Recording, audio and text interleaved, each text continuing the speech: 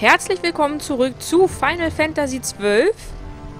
Der zweite Versuch für diese Aufnahmesession. Beim ersten Versuch war leider kein Spielsound mit dabei, was echt ätzend ist.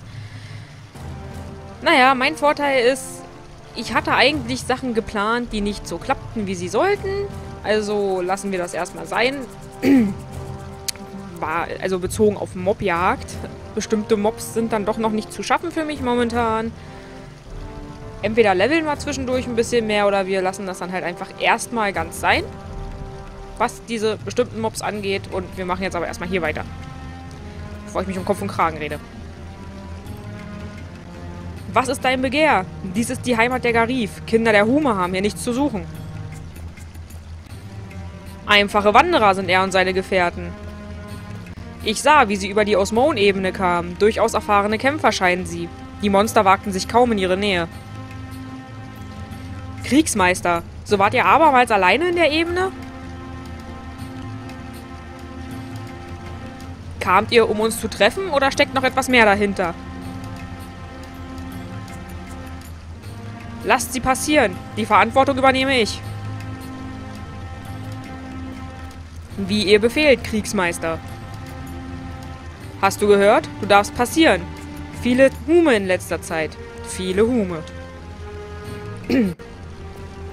Und wir passieren die Brücke.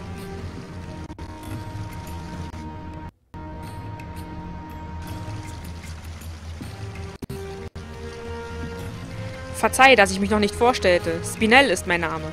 Ich bin der Kriegsmeister dieses Dorfes. Für gewöhnlich sind wir Garif nicht so abweisend zu Fremden, doch in Unruhe ist die Welt der Mume. Wachsam müssen wir daher sein.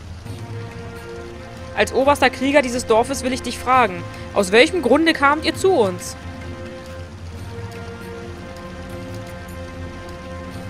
So, so, ich verstehe. Auch ihr kamt also der Neteside wegen. So will ich dir raten, den Häuptling aufzusuchen. Sicher wirst du anfangs verwirrt sein, da wir allesamt Masken tragen. Doch nach einiger Zeit wirst du dich daran gewöhnen und uns zu unterscheiden lernen. Nein. Garantiert nicht.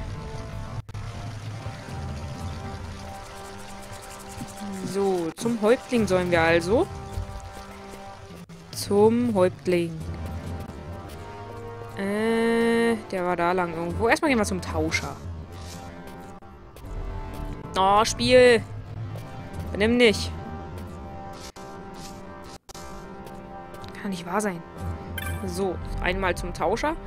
Kann ich dir helfen, junger Krieger? Solides Garif-Handwerk führe ich. Überzeuge dich von der Qualität. Ja, wir gucken erstmal, was wir zu verkaufen haben. Ein Schlachtmesser. Haben wir hier etwas? Das Barett kann weg. Das Schild heben wir auf. Die Stiefel können weg. Die hebe ich erstmal auf. Haben wir hier irgendwas? Nein. Dann geht es nur noch hier weiter.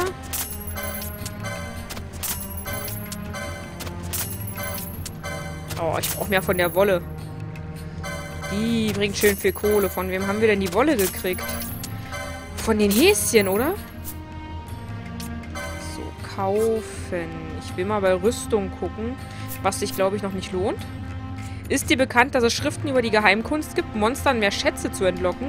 Es heißt, allein ihr Besitz würde ausreichen. Für jede Kategorie sollen sie Hinweise bieten. Als Händler besäße ich nur zu gern eine. Doch ist mir nicht bekannt, wo sie sich befinden, äh, wo sie zu finden sind. So, wir schauen mal in die Lizenzen was sich nicht lohnt. okay, dann kommen wir später wieder und sparen uns erstmal das Geld. Oh, Spiel, was machst du denn hier? Äh, wir müssen hier lang, dürfen aber nicht durch. Hinter dieser Brücke befindet sich der Hügel, auf dem der Häuptling weilt. Ohne weiteres kann ich dich nicht passieren lassen, Fremder. Ah, er ist auch wieder da. Könntest, konntest du etwas über die nette Zeit in Erfahrung bringen? Die Dorfalten sind wissend und hilfsbereit. Zaudere nicht, sie zu fragen. Die Dorfalten. Eben gerade hast du so was vom Häuptling erzählt, Junge. Dann suchen wir jetzt die Dorfalten. Nanazüchter, Nanazüchter. Und irgendwen müssen wir auch noch anquatschen wegen Enge Doras. Elementkrieger Jugier. den quatschen auch mal an. Der hat ja bestimmt nicht umsonst einen Namen gezielt. Welches Motiv treibt euch Hume jüngst in die Heimat der Garif? Ist es kindliche Neugier an dem Stein, den ihr Netteszeit nennt? Nach alter Tradition leben wir, die Fehler der Vergangenheit nicht zu vergessen und weitere zu vermeiden. Wenig wissen wir über euren Stein. Einzig, dass der Stein sein magisches Wesen verliert, ist uns überliefert. Doch neu ist dir diese Erkenntnis nicht, nicht wahr? Nein. Ein Dorfweiser, der hat auch einen Namen.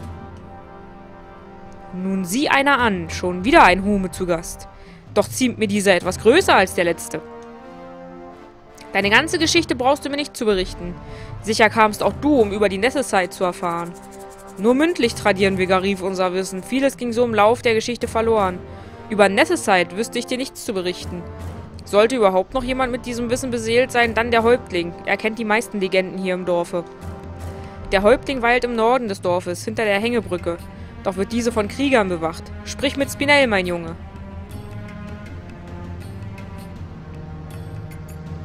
Mein Junge, eine Bitte möchte ich an dich richten. Könntest du diese Gerte dem Kriegsmeister überbringen? Eine Ja-Ja-Gerte erhalten. Ja, ja, die können wir dem bringen. Ich muss mal eben mein Mikro justieren. Das ist zu schwer für den Ständer. Die Sache eilt nicht. Überreiche sie ihm bei nächster Gelegenheit. Ich hoffe, du erfährst, wofür du kamst. Ja, ich muss doch sowieso mit dem Kriegsmeister jetzt schon wieder sprechen.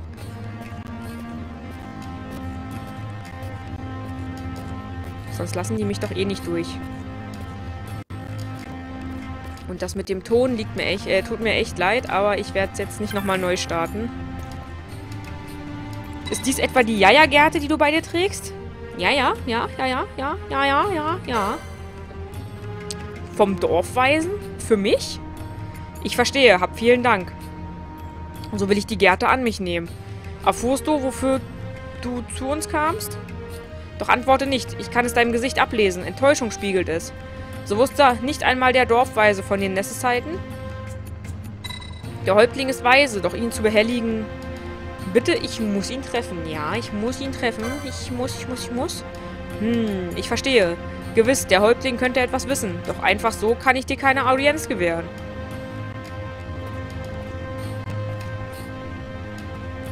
Ich bitte euch, ich muss erfahren, was es mit dem Nesseszeiten auf sich hat. Seid so gut, den Häuptling zu unterrichten. Von königlichem Blute bin ich. Nachfahren Wraith Walls aus dem Geschlechte Dalmaska. Euch Garif sind die alten Legenden, Legenden? Hm, die alten Legenden bekannt. So müsstet ihr auch von den Nesseszeiten wissen, die der Dynast-König einst in Händen hielt. Du sprichst kühn, doch wo ist der Beweis deiner königlichen Abstammung? Ihr müsst mir vertrauen. So will ich euch Glauben schenken. Der Häuptling weilt auf dem Hügel hinter dieser Brücke. Geht nun.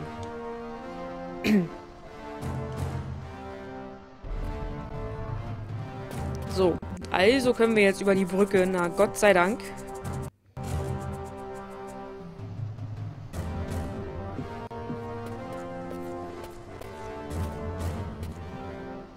Und ich glaube, wir sind richtig. Du willst zum Häuptling, Hume? Ja, lasst mich durch.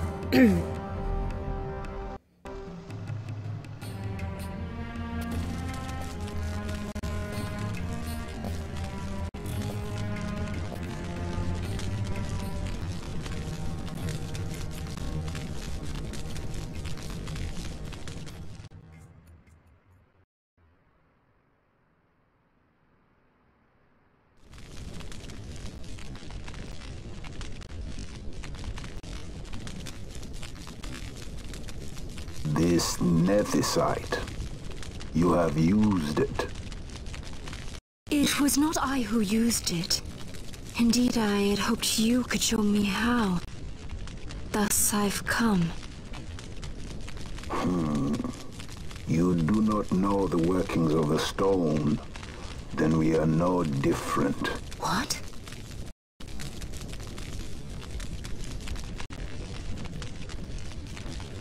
In ages past, the gods made a gift of nethicite to my people.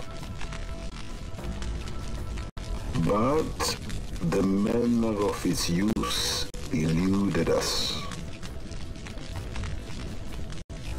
Displeased by our failure, the gods took back their stones. They chose instead to give them to a human king. Called the Dynast King. He used the Nethicites' power to bring peace to a troubled time. It is a curious thing.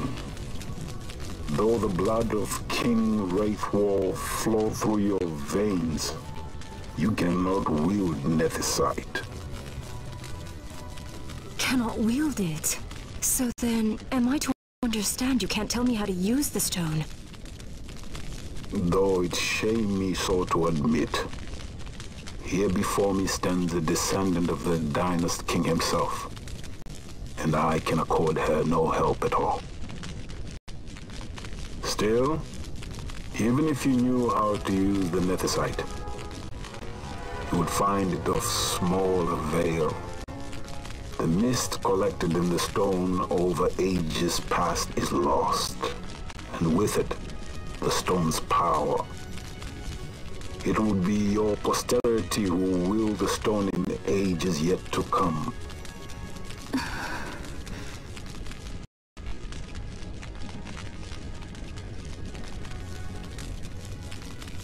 This stone is devoid of power, empty, yet full of thirst. A terrible longing to drink the world dry. The power of man and of magic. Of good and of evil. It is often those who desire Nethicite whom the Nethicite itself desires.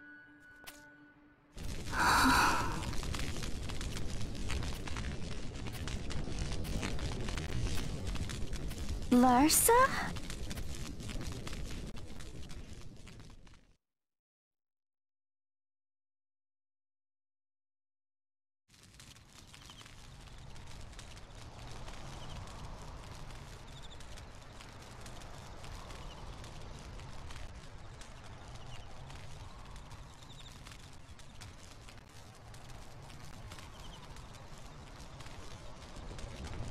To Baromi says.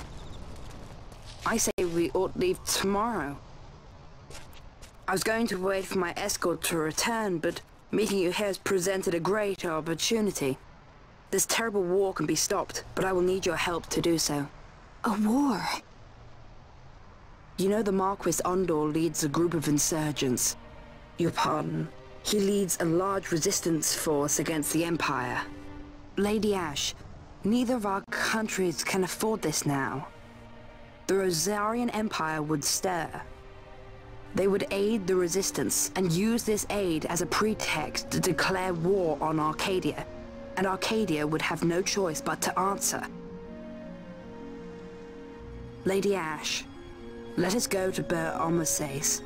With the blessing of his grace, the Grand Kiltius Anastasis, you may rightly wear your crown and declare the restoration of the kingdom of Dalmasca.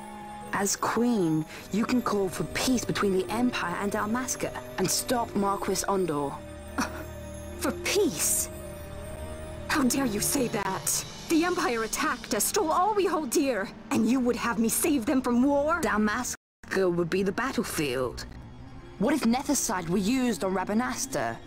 You know my brother would do this.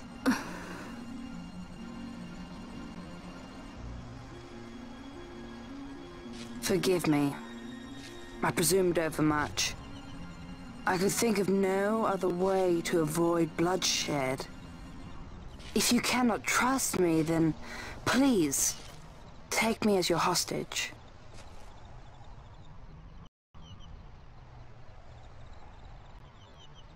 Rustler. You saw him, didn't you? Like at the king's tomb. So you did see him too. But why? It's strange. Before, I didn't even know what you looked like. And the prince? I barely knew there was a prince.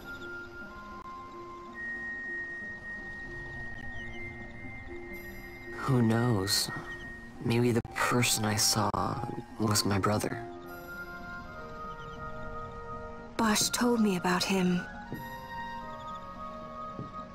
He enlisted right at the end. But for what? He knew he couldn't win. To protect something. How can he protect anything when he's dead? Was it different for Prince Rastler? Did that make sense? Hating the Empire, getting revenge, it's all I ever thought about. But I never did anything about it. I mean, I realized there was nothing I could do. It made me feel hollow, alone. And then I'd miss my brother.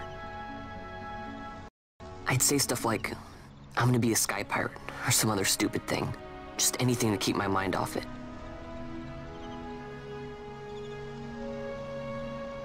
I was just... I was running away. I needed to get away from his death. That's why I followed you.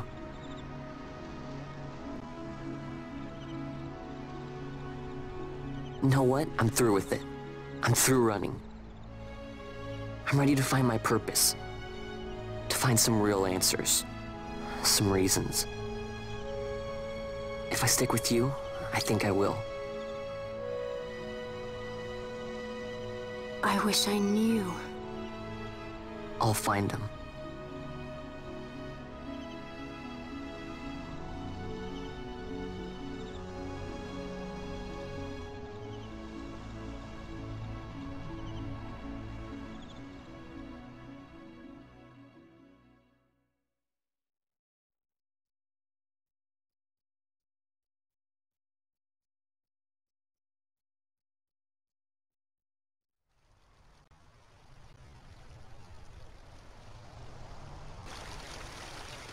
I will accompany you to Mount Baromises.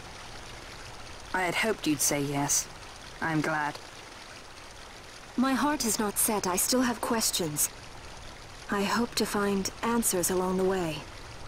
I had other reason to invite you. There is someone I'd like you to meet, waiting on Bur Omises. Who is that? An enemy, and an ally also. You will just have to wait and see for yourself.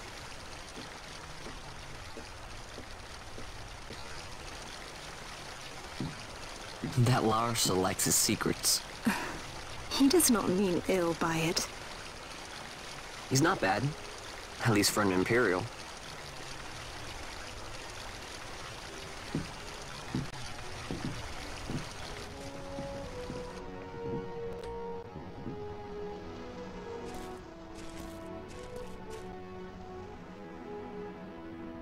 Holy Mount Buromise stands at the northern end of the Yacht Remuda.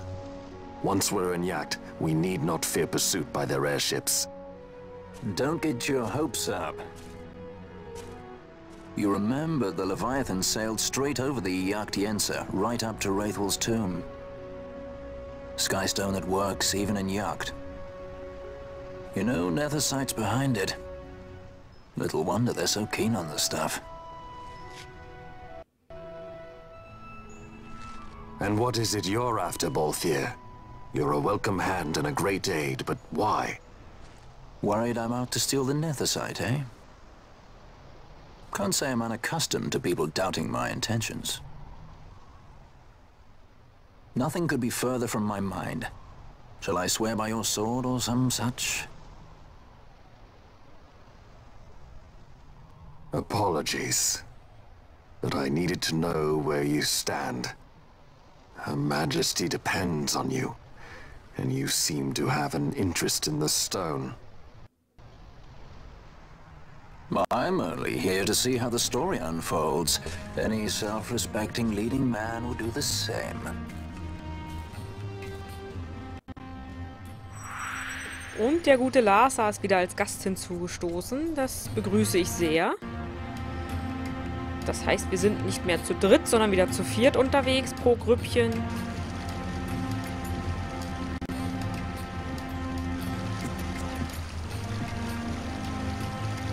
Du brichst auf. So nimm dieses Abschiedsgeschenk entgegen. Eine Armbrust und ein Köcher Zwiebelbolzen. Auch möchte ich dir einen freien Schokoborit gewähren. Mit der Verleiherin sprach ich bereits. Sie wartet am Eingang des Dorfes.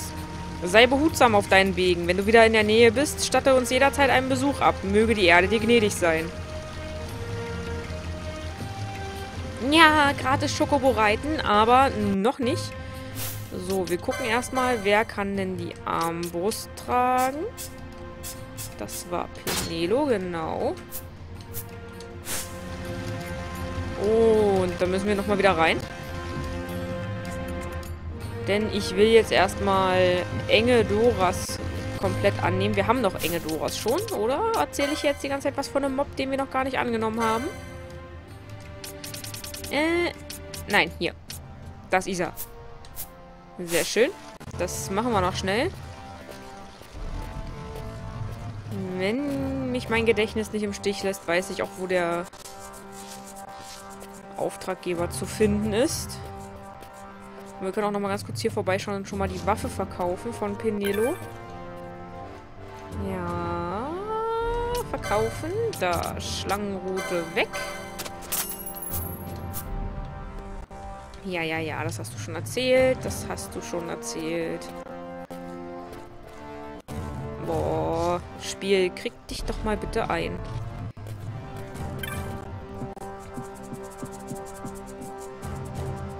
So, einmal hier längs. Und dann hier rüber. Da, da drüben irgendwo.